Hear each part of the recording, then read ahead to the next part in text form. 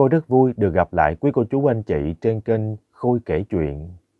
Ngay sau đây, Khôi xin gửi đến cả nhà mình tập 2 của bộ truyện Vỏ quýt dày có móng tay nhọn, tác giả Ngọc Diễm. Nhân tập 2 này cũng là tập kết.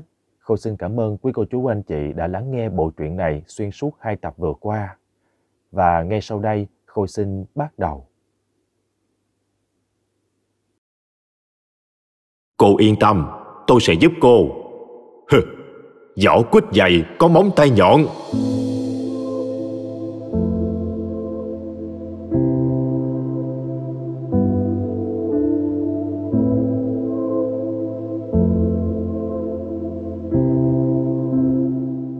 Nhung đang buồn bã, nghe câu nói này thì ngước mắt lên nhìn khó hiểu, hỏi.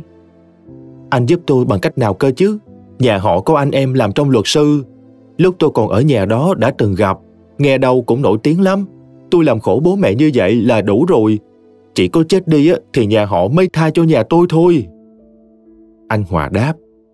Cô yên tâm, thằng này em tôi cũng làm luật sư, mới về đây mở văn phòng.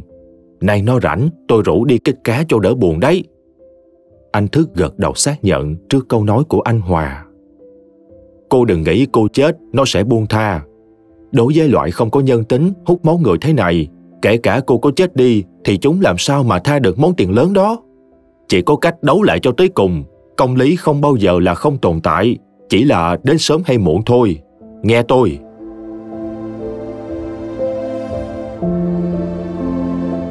Nhung nghe những lời này như ngộ ra. Ánh mắt cô ánh lên một tia hy vọng. Anh Thức nói tiếp. Thôi, tôi đưa cô về. Ước như thế này, ngồi đây ốm mất. Ngày mai tôi sẽ đến nhà cô. Yên tâm, tôi hứa giúp là giúp mà. Nhung gật đầu, ánh mắt biết ơn nhìn người đàn ông xa lạ trước mắt. Chẳng hiểu sao, trong cô lại có niềm tin tuyệt đối với người đàn ông mới gặp lần đầu này. Anh thức chạy đi lấy xe chở Nhung về. Trước khi Nhung vào nhà, anh còn dặn. Không được suy nghĩ quá nhiều, phải giữ tinh thần cho trận chiến sắp tới. Cố lên. Nhung mỉm cười gật đầu. Nụ cười lâu lắm rồi mới xuất hiện trên môi của cô. Trưa ngày hôm sau, như đã hứa, anh thức được anh Hòa chở đến nhà Nhung. Hôm qua tối trời, lại thêm quần áo tóc tai ướt bết nên không trông rõ mặt cho lắm. Hôm nay trong bộ quần áo gọn gàng lịch sự, quả thật trông anh rất đẹp trai. Nhung nhìn mãi không nhận ra là ai, đến khi thức lên tiếng chào, nghe âm thanh Nhung mới nở nụ cười gượng gạo, xấu hổ chào lại. Đến anh thức cũng ngạc nhiên, cô gái ngoài đôi mươi trước mặt, tuy có hơi gầy gò xanh xao, đầu lại bị cạo đi một mảng tóc nham nhở, là kết quả sau cuộc phẫu thuật. Nhưng nhìn lại vô cùng xinh xắn. Nụ cười để lộ ra cái răng khểnh duyên dáng. Thế mà lại có kẻ ruồng bỏ ác nhân như vậy. Nhung giới thiệu với bố mẹ. Sau đó tất cả ngồi lại nói chuyện với nhau. Bàn tính để lật đổ đơn kiện nhà bà Hiền và bắt bà bồi thường sau bao nhiêu thứ đã gây ra cho Nhung. Nhà bà Hiền đang có lợi thế hơn vì bà ta ngay lập tức mang xe lên công an trình báo, đó là bằng chứng. Còn giấy khám sức khỏe của Thế thì không là vấn đề vì nó không đủ để cấu thành tội. Thức hỏi Nhung. Hôm đó họ đánh cô, cô có lưu lại bằng chứng gì không? Bà Thơm cùng Nhung lắc đầu. Bà Thơm nói, Hôm ấy con bé bất tỉnh, rồi đến lúc tỉnh lại thì điên điên dại dại, làm gì có ai còn tâm trí dám định thương tích dĩ đâu. Có ai nghĩ chuyện như thế này sẽ xảy ra cơ chứ? Anh thức lại tiếp. Vậy hôm xảy ra xô xát cãi vã, hàng xóm có ai cầm máy quay không? Có thể tìm trong đó để lấy chứng cứ là do bị dồn đến đường cùng. Đơn kiện của bà ta không quá đáng ngại, có thể bác bỏ được. Thứ tôi cần là muốn lật lại kiện nhà chúng bạo hành nhung và xúc phạm người khác dẫn đến người khác tước đoạt đi mạng sống của mình. Đó cũng là tội không nhẹ. Ông bà Hoàng Thơm nhìn nhau, họ vẫn chưa biết chuyện hôm qua Nhung muốn tự tử. Trước sau gì cũng phải nói, nên anh Thức đã kể lại cho hai ông bà nghe. Nghe xong, bà Thơm đứng giận lên, lao đến túm lấy tay con mà rằng Sao mày ngu thế hả cô? Bố mẹ mất bao nhiêu tiền mới cứu được cái mạng mày về? Giờ mày lại nghĩ bỏ bố bỏ mẹ mà đi vì mấy con người khốn nạn kia à? Mày muốn mẹ ân hận cả đời đúng không? Nhung biết mình sai nên chỉ cúi đầu lặng lẽ rơi nước mắt. Lý nhí nói Cô, con xin lỗi, con biết sai rồi, cô, cô không dám nữa đâu.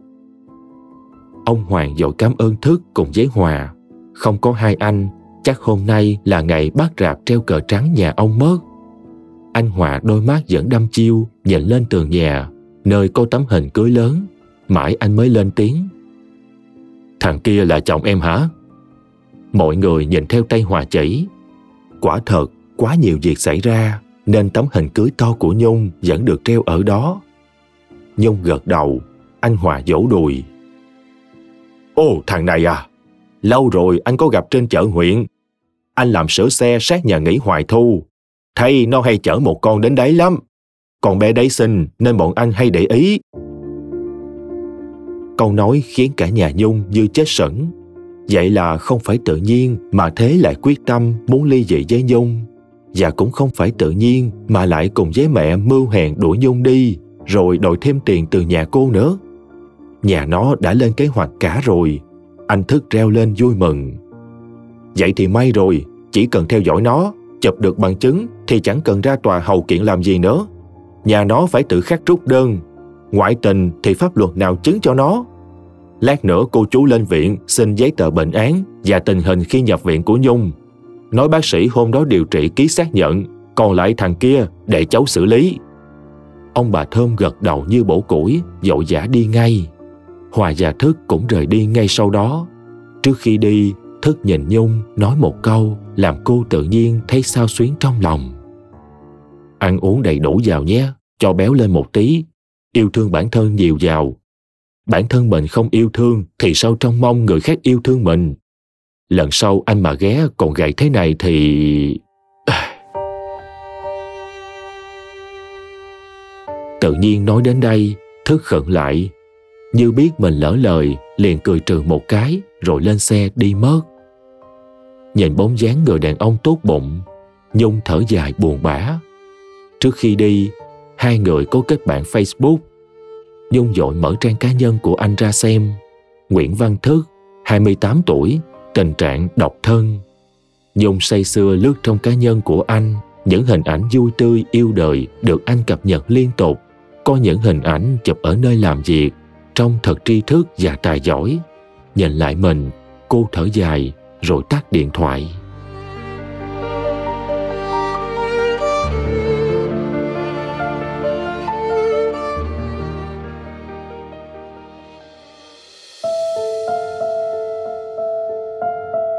Hòa và Thức ngay lập tức tới nhà nghỉ mà Thế hay lui tới. Anh chủ nhà nghỉ cũng là bạn của anh Hòa, lại còn trẻ nên cũng khá dễ nói chuyện. Ban đầu, nghe thấy dự định của hai người là muốn xem camera thì có chút chần chừ. Vì như thế thì là mất uy tín của nhà nghỉ quá. Lộ ra ngoài, làm gì có ai dám đến nhà nghỉ của anh mà mèo mã gà đông. Nhưng nghe xong chuyện bất bình, đến anh cũng không nhịn được và đồng ý ngay. Ba người họ còn lập mưu, quyết phải cho thằng khốn nạn ấy một trận mới hả lòng hả dạ. Anh Thức tuy làm luật sư thật đấy, nhưng tính khí thời trẻ thích lo chuyện bao đồng, thích xử lý bằng tay chân trước, nó vẫn ăn sâu vào máu anh. Cứ như thế, ba người họ chụm đầu vào nhau mà xì xầm to nhỏ.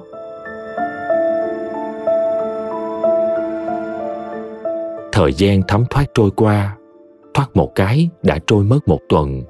Những ngày này, bà Hiền ngày nào cũng lên tòa hỏi xem đơn của bà đến đâu và bao giờ mới được giải quyết còn suốt ngày gọi cho đứa cháu họ xa ba đời làm phiền, dục giả bắt phải làm cho bà. Đứa cháu đấy cũng chán ngán bà đến tận cổ, nhưng bà cứ lôi cái mát cô họ ra mà nói, khiến nó chỉ biết ậm ừ qua loa. Anh Hòa vẫn đi làm ở tiệm xe. Ngày nào anh cũng trông ngóng thằng Thế đến. Kể cũng lạ, lúc trước chả trông mong gì thì nó đến liên tục, còn giờ trông ngóng thì chả thấy đâu. Hôm ấy là chiều chủ nhật, đang ngồi uống cốc trà đá bên đường thì điện thoại reo lên là số của anh chủ nhà nghỉ. Biết là thời đã đến, anh nhấc lên, chưa chờ bên kia lên tiếng thì anh đã đáp. Trong nhá, đến ngay. lập tức gọi cho Thức và mấy người khác nữa. Rất nhanh, Thức đã có mặt. Anh bịt khẩu trang, đội mũ cùng với hai người khác. Bốn người đi vào nhà nghỉ, anh chủ tức khắc ném cho chìa khóa, nói 302 tầng 2 Nhẹ tay, hỏng đồ tao bắt đền đấy. Cả đám gật đầu đi lên, áp tay vào cánh cửa phòng 302. Từng âm thanh ú ớ phát ra, nghe đến nóng máu. Anh thức gật đầu ra hiệu cho một người mở cửa. Anh Hòa đứng nấp bên ngoài để xem. Còn lại ba người kia lao vào. Cánh cửa bật mở, cảnh tượng trần trụi của hai con người lộ lộ trước mắt. Anh Hòa suýt xoa. Ôi sợi, bưởi bồng to phết nhỉ? Một người quát lên. À, con đàn bà hư hỏng, hôm nay tao bắt được mày rồi nhá. Thằng chó này lại dám dụ dỗ vợ tao à? Hai con người đang trong cơn khoái lạc, thấy có đám người lạ nhảy sổ vào, còn chưa kịp hiểu chuyện gì, thì thấy điện thoại chụp mình liên tục, rồi thế bị hai người đạp cho một trận lăn xuống đất. Cô gái kia sợ hãi, lấy chăn trùm lên người. Anh thức giật chăn ra chụp túi bụi, anh Hòa bên ngoài nói trong cổ họng. Đúng rồi, chụp đi thức, chụp nhiều vào, tí, tí, tí tao xem với. Hai người kia tay đấm chân đá vào người thế, quát. Thằng chó này, mày cặp với ai không cặp, lại cặp với vợ bạn tao. Mày chán sống rồi phải không? Cứ như vậy, hai người tay đấm chân đá. Sau một lúc, dường như thấy đã đủ. Anh thức vợ kêu lên. Ơ, ơ, ơ, hình như không phải. Ơ, nhầm người rồi chúng mày ơi. Hai người kia dừng tay, nhìn anh thức, nói. Ồ, nhầm á, ờ, mày đùa à, xem có đúng là bộ anh Kiên không? Cô gái kia nghe thế thì gào lên. Kiên nào? Tôi không biết Kiên nào hết. Hai người kia buông tay đang nắm tóc thế ra, nói. Ồ thôi chết, nhầm thật rồi. Mẹ nó, thằng kia, mày làm ăn thế à? Ờ, xin lỗi hai người nghe. Ờ, hai người tiếp tục đi nghe. Anh em chúng tôi, ê, nhầm phòng. Ê.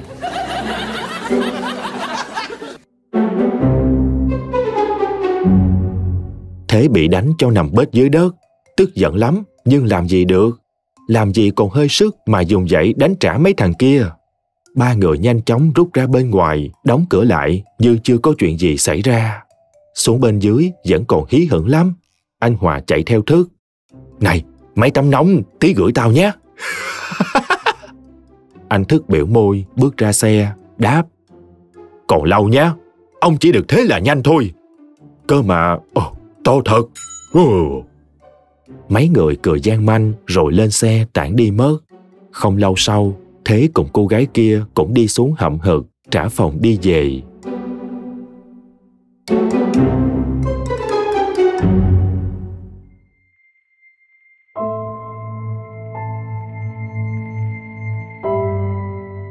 Ngay buổi tối hôm ấy, bà Thơm cùng chồng già Nhung đến nhà bà Hiền.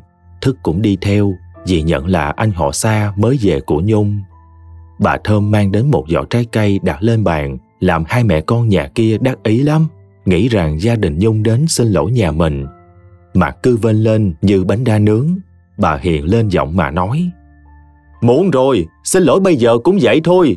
Một là đền tiền, hai là ra tòa, thế thôi.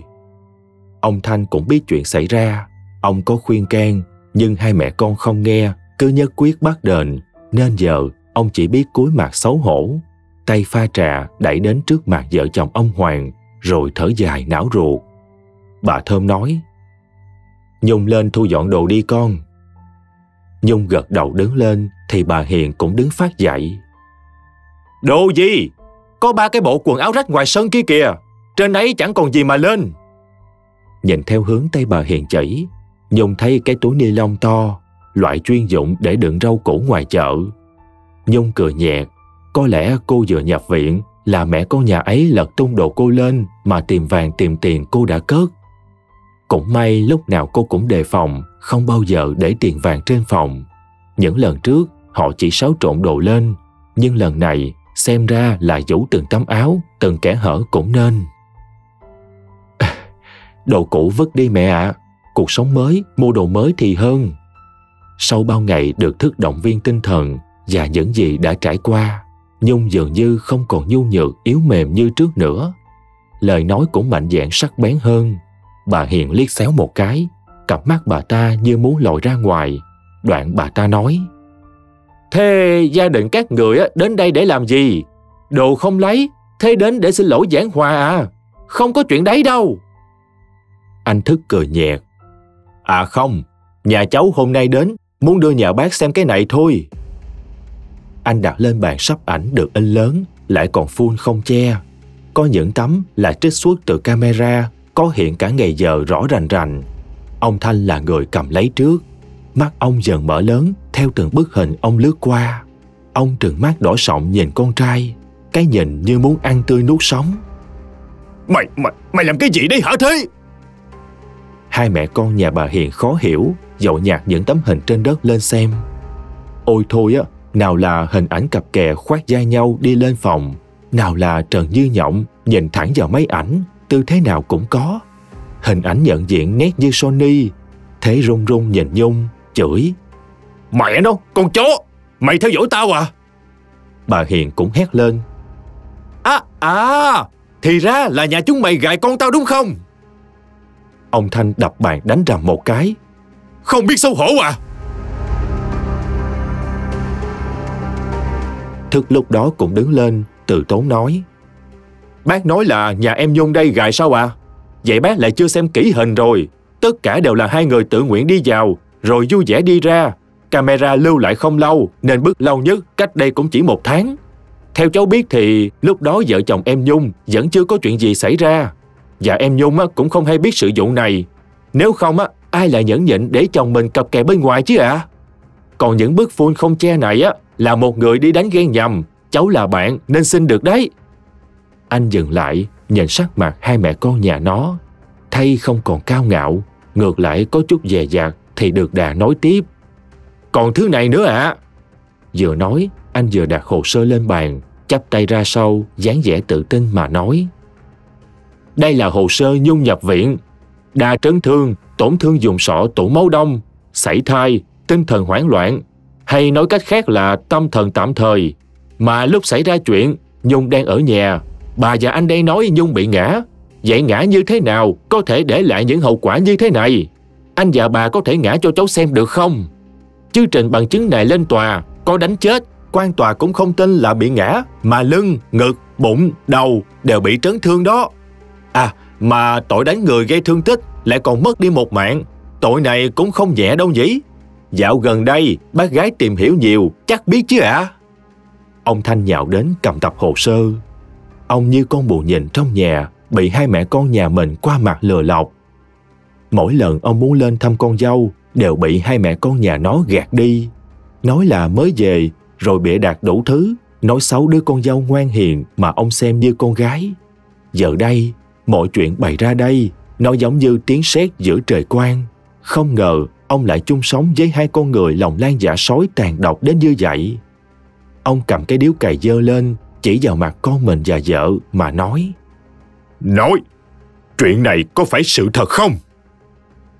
Thế sợ hãi nấp sau lưng mẹ, bà Hiền vẫn già mồm, giang hai tay che cho con, nói. Ông lại đi tin người ngoài, không tin tôi à? Tôi là vợ ông đấy, không phải như thế. Ông đừng có mà nghe nó nói linh tinh. Anh thức dẫn bộ dạng nhàn nhẹ, không nhanh không chậm mà nói. Pháp luật dựa vào bằng chứng chứ không phải lời nói. Nếu bà có bằng chứng thì cứ kiện tiếp. Nhưng cháu nghĩ bằng này bằng chứng cũng đủ thắng kiện và đòi nhà bác bồi thường cho em Dung nhà cháu đây một khoản đấy ạ. À. Bác cũng tốn không ít với bồi thẩm đoàn ấy chứ. Bà Hiền mồm ngoa mép giải. Ấy thế mà giờ đây lại phải cứng họng trước thằng thanh niên trước mặt. Bà cãi cùn. Ừ thì à, thì con tôi cặp bồ đấy Thì làm sao? Con bà không đáp ứng được Thì nó lại chả phải đi bên ngoài à? Tôi đánh nó đấy thì sao? Bằng chứng hình ảnh tôi đánh nó đâu? Mấy vết thương này á, mà lên tòa Nói nó đi đánh nhau bên ngoài Rồi về tự ngã nhà tôi cũng được vậy. Các người nói bằng chứng Thì phải có hình ảnh tôi đánh nó chứ Không phải dăm ba cái báo cáo bệnh án.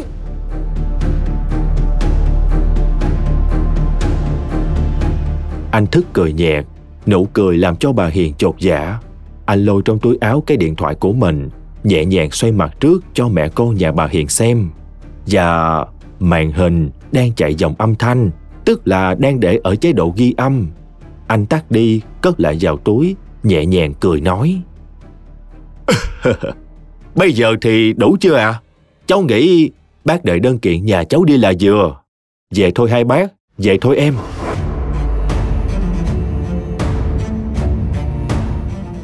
Bà Hiền tái mặt đi, bà lao đến chặn trước mặt Thức. Tưởng bà làm gì? Hóa ra bà lao vào giật áo muốn cướp cái điện thoại. Mẹ nó, thằng chó, mày lại dám gài tao à? Tình huống bất ngờ, anh Thức bị bà ta kéo cho rách áo, cái điện thoại bị rơi xuống.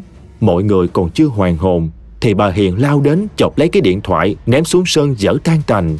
Bà lại lao xuống nhặt lên ném xuống mấy lần. Nhưng chưa yên tâm, bà còn dùng chân mà đạp. Sau đó bà cười lên ha hả. Bằng chứng nữa đi! Chúng mày bằng chứng nữa đi! bà ngước mắt lên nhìn những con người đang đứng đó với vẻ mặt đắc thắng. Anh thức cười, nụ cười ấy lại khiến bà lạnh sống lưng. Nhung, em quay lại được chưa?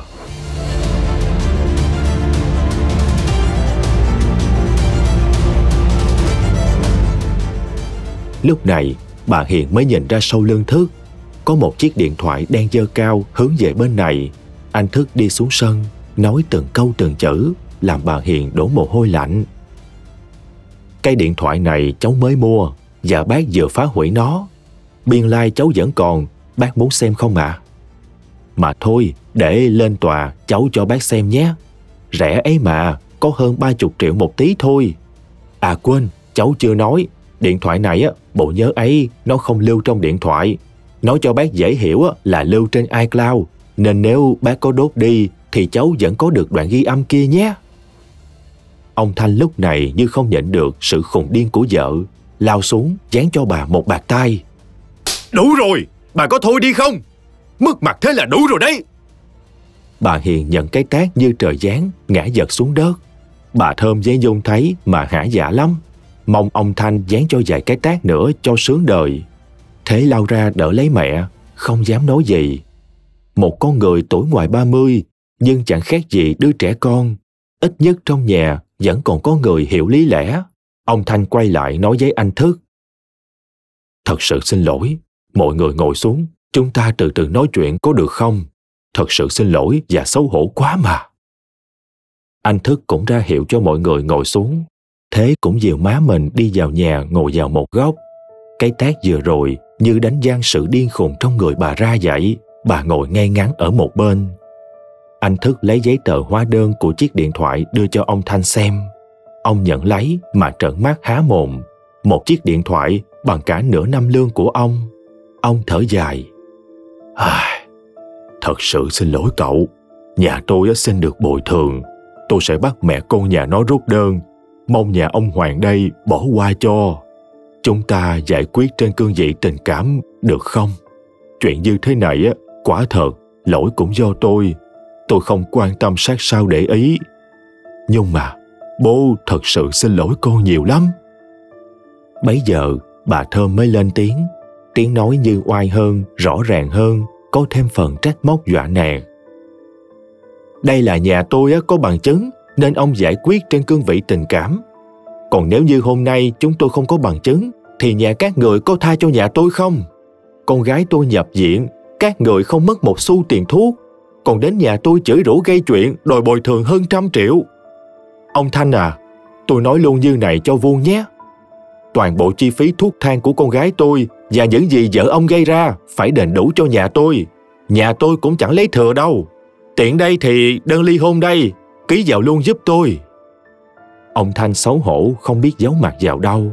Chị Biên ném ánh mắt sắc lẹm về hướng hai mẹ con bà Hiền. Quả thật, ông mãi lo cơm áo gạo tiền mà quên đi luân thường lẽ phải đang diễn ra trong chính ngôi nhà mình. Bà Hiền chụp lấy tờ đơn ly hôn mà đọc. Bà trợn mắt nói. Đền cũng được, rút đơn cũng được, nhưng đơn này tôi không đồng ý. Mọi người lại nhìn bà ta, không biết bà lại nghĩ ra cái trò gì. Bà nói tiếp. Con Nhung về nhà này làm dâu, số vàng cưới và số tiền tiết kiệm là tiền sau hôn nhân, phải chia đôi mới đúng. Sao trong này không viết chi gì? Nhung Mày không qua mắt được tao đâu. Làm dâu nhà này Ăn ở không mất tiền. Làm được bao nhiêu á Mày dám dối cất làm của riêng. Đừng tưởng tao không biết. Nhung cười chua chát. Đi làm công ty về thì bà ta bắt nộp gần như hết, chỉ để lại vài đồng để phòng thân. Còn lại, cô tranh thủ ngày nghỉ đi làm thêm, chứ số bà cho giữ lại còn chẳng đủ để đổ xăng đi làm. Tiền con trai bà làm được bao nhiêu, Nhung chưa bao giờ biết lấy một đồng một cát, mà giờ bà ta vẫn có thể mở miệng nói được như vậy. Quả thật, con người như thế này có tồn tại sao? Và tại sao bà ta có thể tồn tại toàn vẹn cho đến bây giờ? Nhung còn chưa lên tiếng phản bác thì anh Thức đã lên tiếng. Bác nói em Nhung nhà cháu ăn ở không mất tiền, đó là sai nha bác. Vì quan hệ gia đình bác và em Nhung là mẹ con, là người nhà, còn số tiền bác nói em Nhung cất làm của riêng hay tiết kiệm gì đó, bác phải có bằng chứng. Tỷ như sổ tiết kiệm, trong đó có bao nhiêu thì bác mới yêu cầu phân chia tài sản được. Đằng này á, bác không biết là bao nhiêu hay nằm ở đâu. Nói mồm á, thì tòa chứng à. Với lại đây chỉ là đơn nộp lên tòa, còn khi tòa xử, ban có khiếu nại gì hay khúc mắc gì thì trình bày lên tòa ạ. Bà Hiền cứng họng. Ông Thanh lúc này dường như không nhịn được sự nhục nhã. Ông cầm luôn cái vỏ trái cây nhà nhung mang đến, ném vào hai mẹ con nhà bà Hiền, quát. Có thôi đi không? Nhục, nhục nhã quá mà. Cút, hai mẹ con nhà bà cút ra khỏi nhà tôi ngay. Thế quát lại. Bố làm cái gì vậy? Bố quá đáng vừa thôi. Cái này mẹ nói đúng mà. Sao bố lại nổi nóng? Ông Thanh cầm luôn cái tách trà ném bốp vào đầu con mình. May mà thế né được. Tách trà rơi xuống đất, dở đánh choang. Bà Hiền sợ hãi ôm lấy con trai bảo bối. Đúng mà. Đúng cái mãi cha mày. Mẹ nào con nấy. Hỏng, hỏng rồi. Muốn sống á, ký vào giấy nhanh lên. Tao muốn cho chúng mày quay lại. Một ngày nghĩa vợ chồng, trọn đời nghĩa phu thê. Nhưng xem ra là tao phải bắt bỏ, chứ không thể để mày làm khổ con gái nhà người ta như thế này nữa. Nói xong, ông lục tìm trong hộp tủ, lôi ra cây bút ném vào người con trai, quát. Ký cho tao, mẹ con nhà mày không được đòi hỏi bất cứ thứ gì. Nếu không, tao tống cổ mẹ con mày ra đường. Nhanh! Cầm cây bút ký vào tờ ly hôn, Nhung nhìn từng nét chữ được hạ xuống mà nước mắt cũng rơi theo. Trong lòng cô bây giờ cảm xúc hỗn tạp, không rõ mình đang vui hay buồn hay tuổi nữa. Nhưng chắc có lẽ là tất cả, tất cả cảm xúc đang hòa trộn vào với nhau. Nhanh chóng, cả nhà Nhung kéo nhau ra về. Sau khi về đến nhà, anh Thức ngồi lại nói chuyện. Anh hỏi gia đình ông Hoàng có muốn kiện nhà kia không? Hai ông bà nhìn nhau thở dài. Cả một đời hòa đồng chung sống với xóm làng, có bao giờ gây gỗ kiện tụng gì ai đâu. Chuyện vừa rồi cũng khiến ông bà giận uất thật đấy. Nhưng giờ mọi chuyện cũng được giải quyết. Con ông bà vẫn còn sống và được giải thoát rồi. Nên thôi, bỏ qua cho nhà họ, coi như tích đức tạo phước dạy. Anh Thức cười hiền hòa. Quả thật, người hại ta, nhưng ta chẳng muốn hại người. Âu cũng là những con người nhân đức, sống không ổn một đời.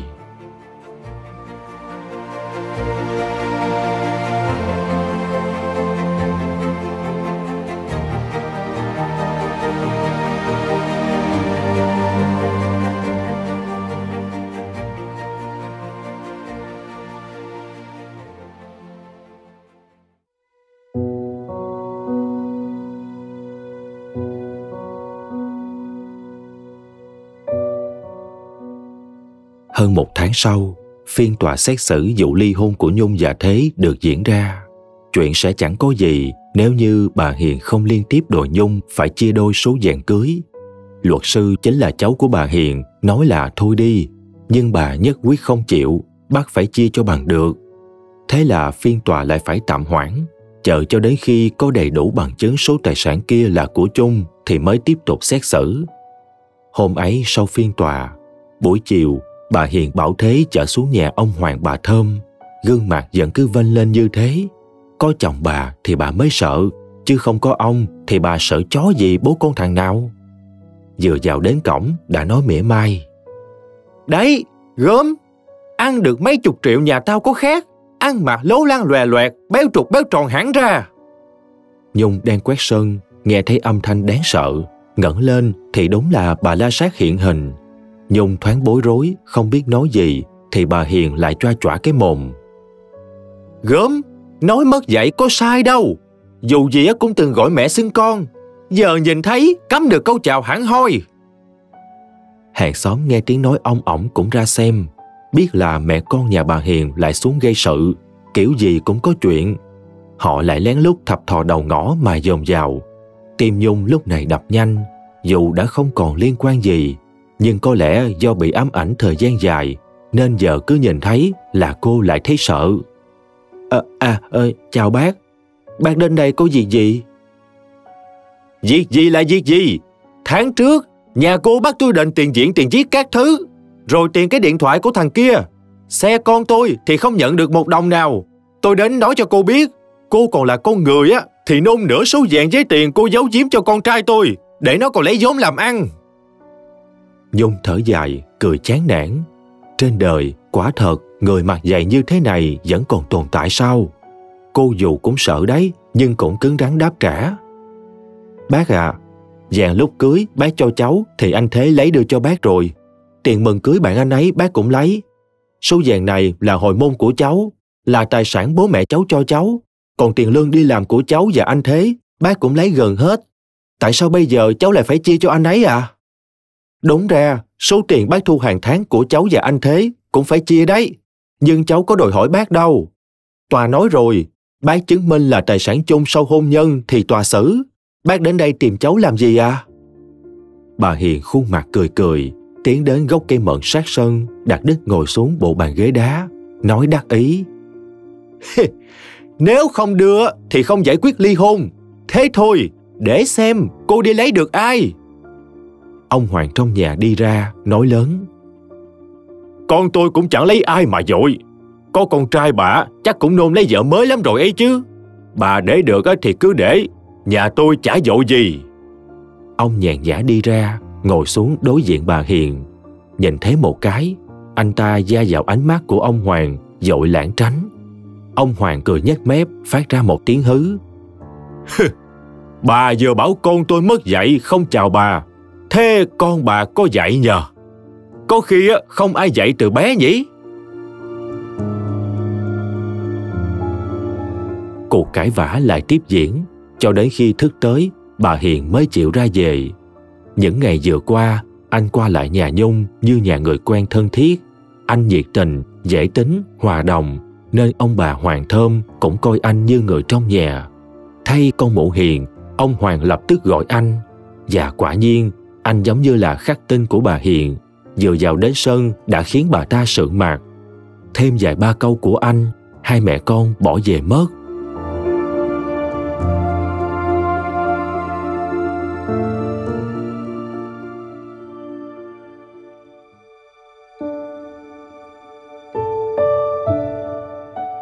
Thời gian lại trôi qua. Cuối cùng sau ba tháng, chuyện ly hôn cũng được giải quyết và Nhung chẳng phải chia bất cứ thứ gì cho bà ta. Thời gian này thoải mái tinh thần, Nhung ăn ngon, ngủ yên, chăm sóc cho bản thân, nên nhìn chẳng khác gái 18 đôi mươi. Nhất là trên mặt cô lại trải đời, có nét gì đó già dạng trưởng thành, rất cuốn hút. Nhung và Thức cũng thành một đôi bạn lúc nào không hay. Rảnh là lại nói chuyện trên trời dưới đất. Thỉnh thoảng cùng với anh Hòa, ba người tụ tập quán cà phê nói dài ba câu chuyện phím. Nhung tập thành buôn bán hàng trên mạng, dáng đẹp mặt xinh, cộng với tài ăn nói hoạt bát giống có từ thổi thanh xuân. Rất nhanh, cô đã có nguồn thu nhập ổn định, lột xác hoàn toàn khỏi cái vỏ bọc lầm lì ít nói. Bản đi cũng hơn một năm trôi qua, công việc của Nhung càng ngày càng phát triển. Nguồn hàng tốt, cộng với giá thành rẻ, cô ăn lợi ít nên hàng cô bán đi số lượng rất nhiều bà Thơm phải bỏ công việc phụ hộ mà đóng hàng cho cô. Còn ông Hoàng cũng bỏ luôn cái nghề thợ xây, ở nhà chạy hàng cho con gái, còn phải thuê thêm hai người mới làm kịp. Anh Thức và Hòa mỗi lần rảnh là chạy qua giúp cô. Cả hai anh đối xử với Nhung rất tốt. Có một lần, anh Hòa đã tỏ tình với Nhung. Anh trúng tiếng sét từ khi thấy cô bước ra từ tòa án. Chẳng hiểu sao, lúc đấy thấy cô đẹp lắm Nhung xin lỗi anh rất nhiều vì dường như cô chưa thoát khỏi sự ám ảnh của lần kết hôn thất bại đó nên hai người vẫn vui vẻ coi nhau là bạn. Thực chất, Nhung có tình cảm với anh Thức nhưng cô biết mình không xứng với một người đẹp trai, tài giỏi như anh. Về phần thế, sau khi kết thúc cuộc hôn nhân với Nhung, anh ta nhanh chóng công khai mối quan hệ hết cô này đến cô khác. Cuối cùng dừng lại ở một cô gái con nhà giàu thua anh ta 8 tuổi. Ngọc là con cưng trong gia đình cũng khá giả, giống tính ương bướng ăn chơi lại ra phải thế, một người mồm mép dẻo kẹo cũng ăn chơi chả kém gì, còn được bà Hiền đầu tư cho con SH hoành tráng, với vẻ ngoài ưa nhìn chững chạc, có xe có tiền, chỉ cần Ngọc đồ gì cũng cho. Nhưng Ngọc đâu biết rằng số tiền mà Thế dùng mua quà cho nó đều là xin tiền mẹ. Mẹ Hiền nghe kể nhà Ngọc khá giả, lại là con út nên chẳng ngần ngại mà chi tiền cho con. Chuyến đi câu nào chả phải bỏ mội. Rồi đến lúc giật cần mới biết ai ăn ai. Những cô trước bà không đồng ý cũng vì gia đình bình thường. Đến khi thấy Ngọc, tuy có hơi xấu một chút, nhưng được cái nhà giàu lại là con út.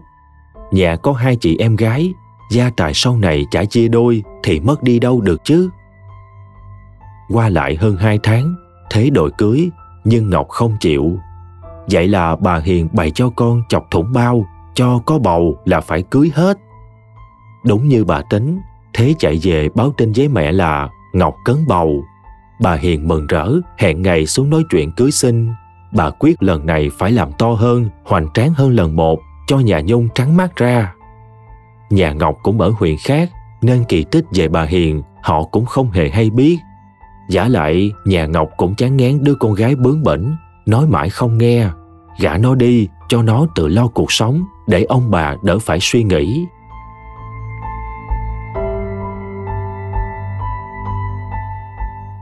Bà Hiền nhìn căn nhà to của thông gia thì mừng ra mặt. Lại thấy mẹ Ngọc đeo vàng lủng liễn đến đỏ tay thì khoái lắm. Cái mồm của bà lại bắt đầu khô môi múa mép. Nào là con dâu như con gái. Anh chị yên tâm. Tôi chịu hết mình. Về nhà tôi không cần phải làm gì hết. Quả thật, mật ngọt chết rồi. Chưa đầy tháng sau, đám cưới được diễn ra. Trước ngày cưới mấy hôm, bà Hiền đích thân xuống nhà Nhung từ lần ly hôn xong, bà chưa xuống đây lần nào. Giờ quay lại, bà ngỡ ngàng đến khó tin. Căn nhà được sửa sang lại không ít. Trong nhà, hàng hóa người làm tấp nập. Bà Thơm đeo trên cổ cái dây chuyền vàng to như ngón tay, còn đang chỉ đạo người ta bê chỗ này xếp chỗ kia. Ông Hoàng đeo cái nhẫn to tổ bố, không còn đen nhẽm, ăn mặc khắc khổ như trước nữa. Ông còn có con xe mới cống đời mới dẫn đó để chở hàng. Nhung là người khiến bà giật mình nhất. Nào còn dáng vẻ đen đúa bẩn thỉu, mặt ủ mày trâu, tay chân gầy guộc. Thay vào đó, trông cứ như hoa hậu người mẫu ở đâu mới về. Da trắng đến phát sáng, mặt hoa da phấn, môi son má hồng. Mặc bộ váy giản dị, nhưng tôn lên cơ thể sang trọng của cô.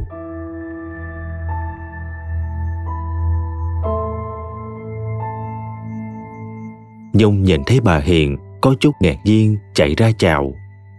Chào bác, bác đến nhà cháu có việc gì không? Bà Hiền ấp úng ấp lẫn mãi mới nói được, mặt vẫn cứ nhìn Nhung đăm đăm. Thế dựng xe xong, theo mẹ vào, cũng đứng hình. Người đàn bà lôi thôi từng là vợ anh đâu rồi? Trong Nhung lúc này còn xinh hơn cả mấy em hot girl quẩy mông trên mạng. Đã thế, trên người Nhung bây giờ không ít đồ trang sức có giá trị. Bà Hiền tức lắm, những thứ này chắc là ở nhà bà cất giấu làm của riêng chứ còn gì nữa. Giờ ly hôn lấy ra xài. Nghĩ thế, bà mỉa mai. Kinh nhỉ? Chia tay con trai tôi một cái là lên đời luôn. Đúng là cáo già mới lòi đuôi. Xem ra lung ở nhà tôi, cô giấu giếm được không ít. Nhung cười nhẹ, không giận mà nói. Dạ cũng may cháu cất đi, chứ không á đời cháu tàn hơn hoa. Mà bác với anh đến đây có việc gì không? Nhà cháu đang nhiều việc lắm mà. Bà Hiền liếc xéo, vốn tưởng nhà Nhung vẫn nghèo bần hàng như trước. Định xuống dàn mặt một phen, khoe cô con dâu nhà giàu lại là gái tơ chưa chồng. Cho nhà Nhung thấy con trai bà có giá tới mức nào. Dù có hai ba đời vợ vẫn lấy được gái tơ như thường.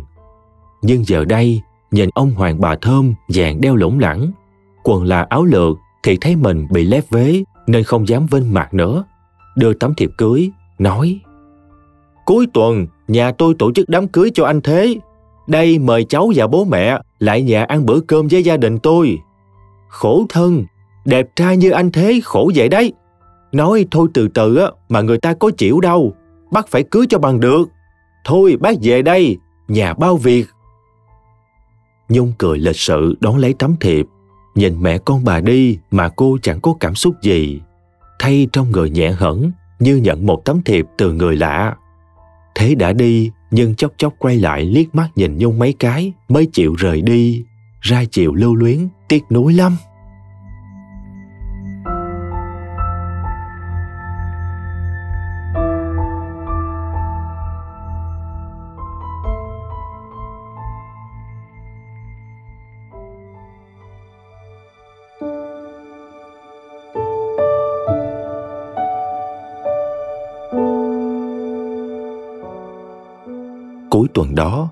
Nhung chọn một chiếc váy trắng thật đẹp, trang điểm tinh tế đi đến nhà bà Hiền ăn cưới. Cô chiếm mọi ánh nhìn, lấn át cả cô dâu. Người ta đều nhìn cô không rời mắt. Có người còn tưởng Nhung là cô dâu, bởi cả chiều cao, dốc dáng, trang điểm tinh tế đều ăn đứt Ngọc. Ngọc tức lắm khi biết đó là vợ cũ của Thế. Mặt nó cứ hầm hầm, lâu lâu cấu véo Thế một cái cho bỏ cơn tức. Anh còn lưu luyến nó hay sao mà mời nó đến đây dìm em hả? Mỗi cây véo là mỗi câu hỏi. Làm lễ mà mặt cứ như đưa đám, sưng như cái bánh bò nướng. Bà Hiền thấy con dâu cũ sang trọng, lại nghe hàng xóm xì xầm. Đấy, đấy, đấy, đấy, con dâu cũ ngoan với sinh thế kia mà bỏ phí. Xong lấy con mới này á, nhìn mặt biết không phải dạng dừa, trông là biết loại đanh đá rồi. Bà lại nhìn qua cả chục mâm cổ ế khách mà giận tím mạc muốn làm cho to, cho hoành tráng, mà ngờ đâu người ta không tới.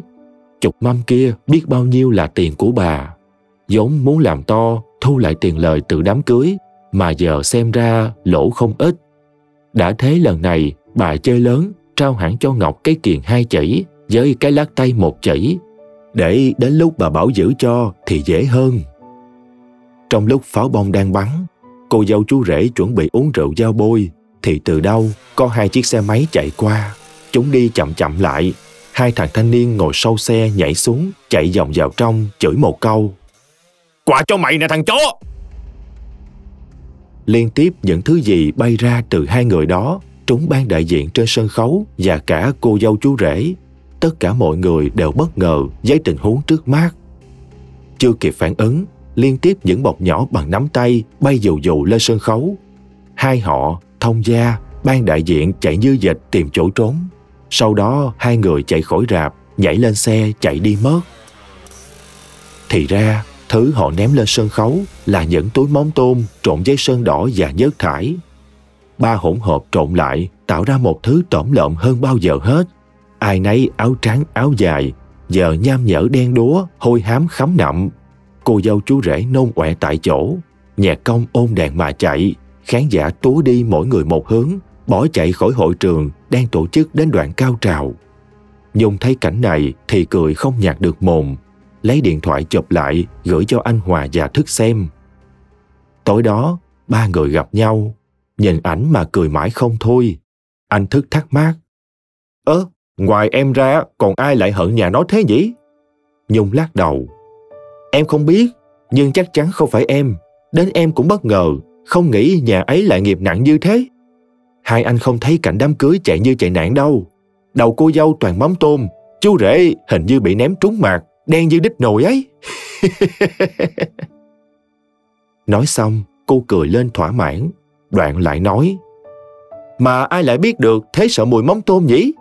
Người này chắc chắn cũng không phải xa lạ. Anh Hòa xoa xoa cầm, nói.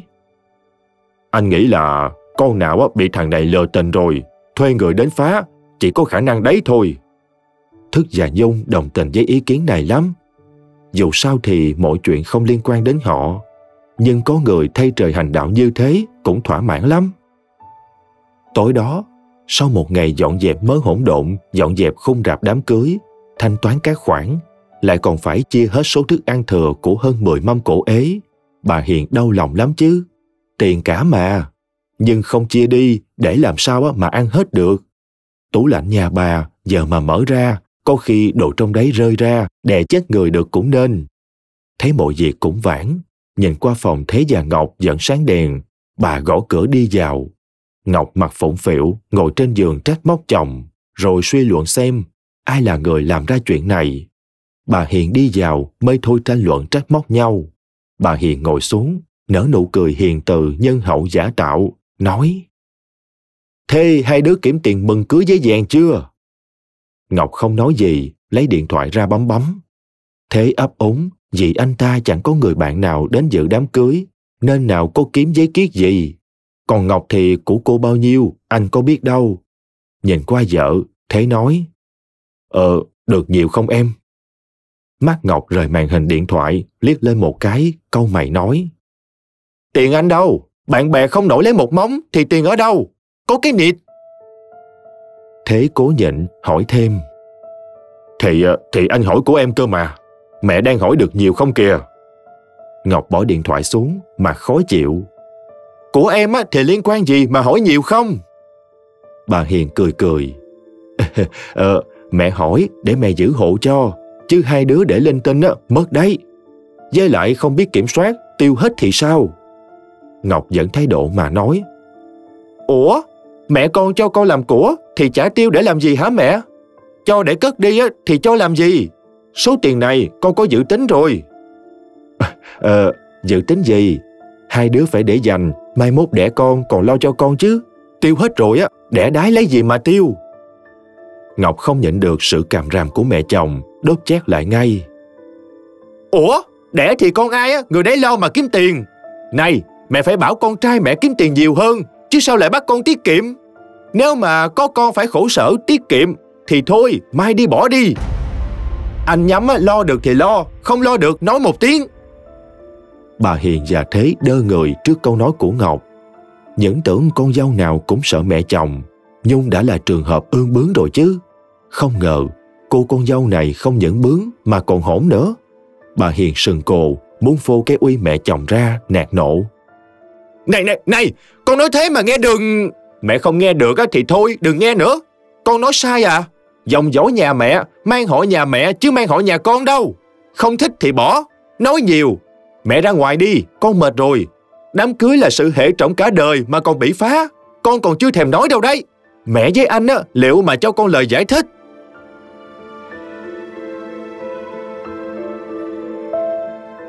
Bà Hiền á khẩu, thấy con dâu ngang nhiên nằm xuống chùm chăn, quay mặt vào tường, mở điện thoại to hết cỡ, như ý đuổi bà.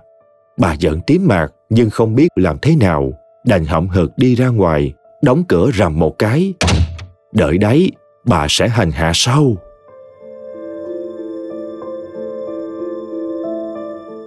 Sáng ngày hôm sau, vẫn chiêu cũ, bà đã thúng đụng nia một hồi lâu, miệng nói xỉa xói. Đấy, nhà có con dâu. Con dâu thì làm sao? Trước giờ không có con dâu thì nhà này chết đúng không? Mới sáng sớm mẹ làm nhẹ nhẹ tay thôi, cho con còn ngủ. Cháu mẹ nó hành con chưa đủ à? Cảm thấy là một mình không được thì... Nè, dậy, dậy nhanh. Dậy mà làm việc, không mẹ anh chết đấy. Nhanh lên! Ngọc đang nói giữa chừng thì đã đích thế ra khỏi phòng, đóng cửa lại, đánh rầm một tiếng. Ông Thanh ngồi ngoài sân hút thuốc lào và chỉ biết cười buồn lắc đầu. Nhìn vào màn sương sớm chưa tan và màu đen ảm đạm của bóng tối. Nó đen tối như tương lai nhà ông lúc này. Có lẽ cái nghiệp của nhà ông tạo ra nó đã đến tìm rồi. Bà Hiền đứng hình trước hành xử này. Bà không ngờ tình huống như thế này có thể xảy ra. Hai mẹ con đứng nhìn nhau, mắt chữ A, mồm chữ O, như thể hệ điều hành bị lỗi, không biết phải làm gì tiếp theo.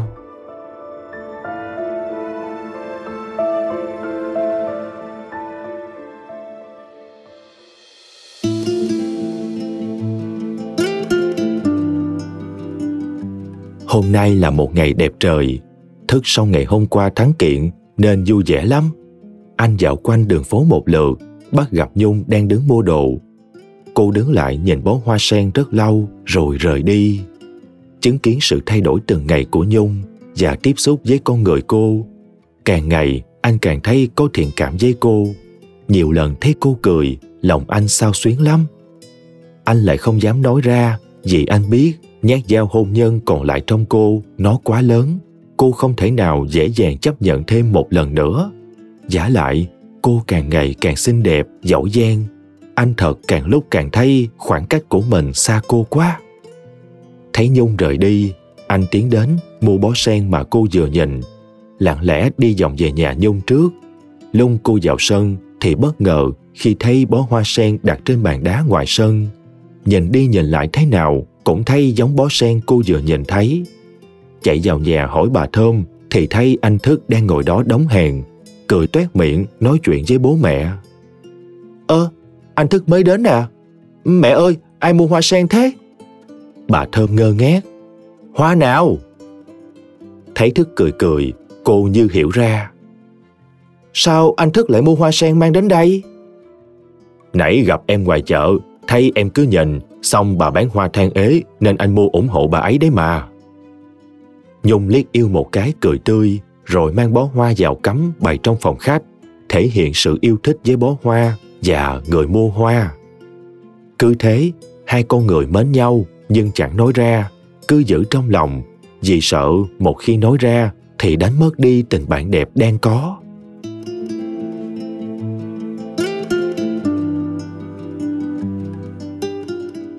Thời gian lại cứ thế vô tình trôi qua. Bẵng đi nửa năm, hôm ấy Thức nhận được từ bên công tố một vụ án. Hỏi anh có muốn làm luật sư bào chữa cho bị cáo hay không? Lật hồ sơ ra xem, anh trợn mắt, lại là bà Hiền đâm đơn kiện. Người bị kiện lần này chính là Ngọc. Trong đơn viết, Ngọc đã lừa lấy hết số tiền tiết kiệm nhà bà tiêu xài, còn ác tâm phá bỏ đứa cháu nội của bà. Lại còn bán luôn chiếc xe SH của chồng rồi lấy tiền đi biệt xứ. Thức cười cười đóng hồ sơ lại. Anh thở dài gọi cho bên viện kiểm soát từ chối. Dù anh biết khả năng phần thắng của bị cáo rất cao, nhưng anh không muốn nhận. Bà ta kiện mà không có bằng chứng, đã vậy những lời kia đưa ra là con dâu lừa tiền tiêu hết cũng không có chứng cứ. Rồi phá thai, pháp luật chưa có chế tài xử phạt. Điều 44 có viết phụ nữ được nạo phá thai theo nguyện vọng thì kiện cái gì cơ chứ? Còn bán xe, hai người là vợ chồng, vợ bán của chồng là lẽ thường tình. Hai, đúng là quả báo nhãn tiền không chừa một ai.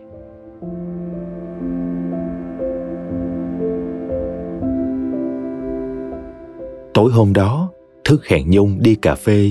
Hai người lại ngồi nói chuyện với nhau về những chuyện đời thường. Không gặp nhau thì thôi. Chứ hễ mà gặp là cả hai lại nói cười không ngớt. Bỗng thức nói, Hôm nay anh nhận được một hồ sơ, em đoán xem là của ai. Nhung tròn mắt, đôi mắt đen lấy long lanh khó hiểu nhìn thức. Làm trái tim anh nhộn lên một nhịp, dội cầm cốc cà phê lên uống, tránh ánh mắt của Nhung. Nhà bà Hiền đấy. Thật á, bà ấy lại kiện ai thế? Thức cười cười. Con dâu mới của bà ấy lừa lấy hết tiền tiết kiệm ăn chơi, bán xe của thằng Thế, còn phá bỏ đứa cháu của bà ấy. Nghe đâu cũng gần 7 tháng, thì con kia đi phá xong lấy tiền bỏ đi theo trai. Nhung há mồm. Thật á, sao cô ta có thể ác như vậy chứ? Dù gì cũng là con mình mà, tội nghiệp em bé quá. Thức nhìn cô gái lương thiện trước mặt rồi cười, cái nhìn lén lút lướt qua. Đổi là người khác sẽ cảm thấy thỏa mãn, sẽ nói đáng đời nhưng cô ấy lại chỉ nghĩ đến đứa bé bị ruồng bỏ. Một cô gái như thế này không biết trân trọng, đúng là có phước không biết hưởng. Có khi bây giờ, nhà đấy đang tiếc cô con dâu này lắm. Nhìn bàn tay nhung đang đặt trên tay ghế, gần chỗ mình, trong lòng bỗng chốc muốn cầm vào đôi bàn tay ấy, đưa tay ra chậm chậm dương sang. Nhưng ngay lúc nhung quay đầu, anh lại dỗ dàng đưa lên gãi đầu, cười hình hệt như kẻ khờ về phần bà Hiền, sau khi Ngọc bỏ đi, nhà bà ba bữa là xuống nhà bố mẹ Ngọc gây chuyện, đòi số tiền con gái ông bà phá hết. Đó là số tiền tiết kiệm ông bà làm cả đời, rồi cả số tiền thời trẻ thế đi nước ngoài, hơn một tỷ. Giờ đây không còn một xu, còn nợ hàng xóm mấy chục triệu. Họ cứ sang nhà ông bà để đòi. Bố mẹ Ngọc cũng chẳng phải dạng dừa, xuống lần nào đón lần đấy lần một lần hai cũng chỉ là những trận cãi nhau đến đinh tai nhức óc. Nhưng quả thật, cái mồm vô lý của bà Hiền thì khó ai đấu lại được. Lần đó xuống cãi nhau, ông bố của Ngọc tức khí vì bà Hiền dám đạp bể cái bộ ấm trà, còn hất luôn cả mấy cái chậu cây cảnh ông chăm, kèm theo lời đe dọa. Ông không bảo con gái ông trả tiền cho tôi thì không xong với tôi đâu đấy. Đồ cái thứ mất dạy. Ông bà biết nói như thế mới dội vàng gả vào nhà tôi chứ gì. Tôi nói cho mà biết, không ăn được của nhà tôi đâu. Ngay ngày đầu về làm dâu, tôi đã biết loại con gái hư thân, nhưng cố tích đức muốn dạy cho nên người. Giờ thì sao? Cha nào con nấy cũng hết tiền nhà tôi mà đi theo trai, còn giết chết cháu tôi nữa. Nhà các người không sợ nghiệp quật à? Bà ta cứ như thế, đứng ở cổng chửi ra rã từ trưa đến tối. Hôm đó là đỉnh điểm, ông bố gọi cho hai thằng mặn mòi, chặn mẹ con nhà nó ở đoạn đường không có nhà, rồi đánh cho thế một trận. Trận đánh đó làm thế thừa sống thiếu chết. Bà Hiền cũng bị giả cho gãy mất một cái răng. Chúng nó còn dọa, dám xuống gây sự thì nó còn chặn đánh tiếp. Đưa thế vào điều trị mất thêm một mớ tiền. Cơ mà cũng nhờ đó mà làm xét nghiệm mới biết thế bị ung thư. Tuy mới chỉ giai đoạn đầu, nhưng tình trạng bệnh đang diễn biến khá nhanh. Ông Thanh biết con mình bị đánh là do đi gây sự với nhà người ta. Ông cũng chẳng thèm vào thăm. Thời gian Ngọc làm dâu, ông biết là mẹ con nhà bà Hiền nghe nói ngọt nhẹt, đầu tư kiếm tiền nhanh mới đưa hết tiền cho nó. Ban đầu là vài chục tiền lãi, được hẳn một nửa tiền gốc về tay ngay sau mấy ngày. Thành ra vài lần như thế, bà Hiền tin lắm. Ông Thanh có khuyên, nhưng bà nói con mình mà, làm sao mà không tin nó. Thế là những lần tiếp theo, số tiền bỏ ra càng lúc càng nhiều. Tiền lãi thu lại thì Ngọc lý do lý trấu.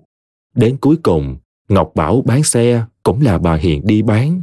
Tất cả tại lòng tham mà dâng lên tận mồm nó, giờ trách ai? Nhìn vợ con sống lỗi, ông chán nản. Nay nghe tin nhập viện, ông mặc kệ, gom lấy vài bộ quần áo, lấy xe đi đâu đó chẳng ai rõ.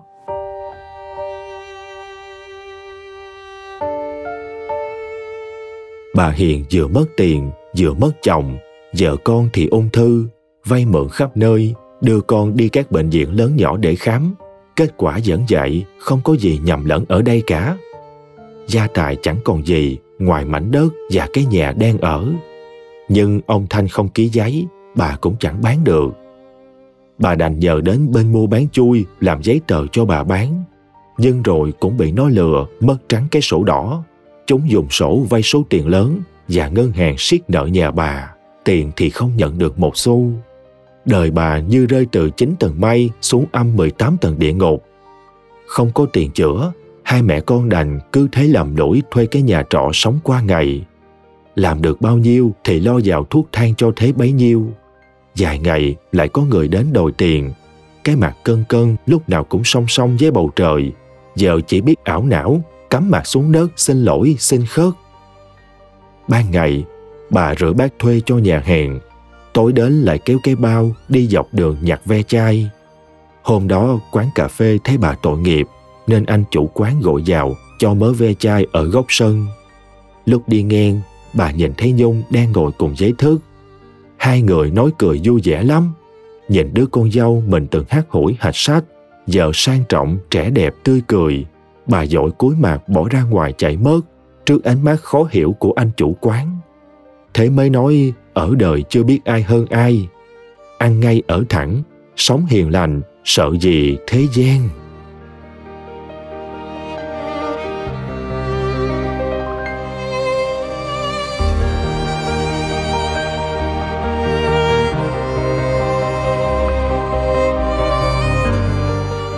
Tập truyện của ngày hôm nay đến đây đã hết rồi. Khôi xin cảm ơn quý cô chú anh chị đã lắng nghe. Mong là những gì mà Khôi và tác giả mang đến sẽ giúp quý cô chú anh chị có những trải nghiệm thật ý nghĩa. Khôi mong được quý cô chú anh chị ủng hộ bằng cách like, share và đăng ký kênh à. Xin chúc cô chú anh chị ngủ ngon. Xin chào và hẹn gặp lại.